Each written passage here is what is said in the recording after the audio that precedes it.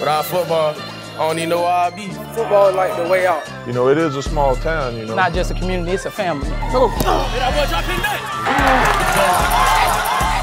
Here in Pahokee, Florida, they like to say, Ball is life, man. football is seen as a way to reach colleges, careers, and beyond. We've been studying. 100% graduation rate for our senior athletes. We look for sponsorships, but we don't have the economic development out here. The more I give to the kids, the more they see that someone cares. At the DICK'S Foundation, we are honored to award you $75,000.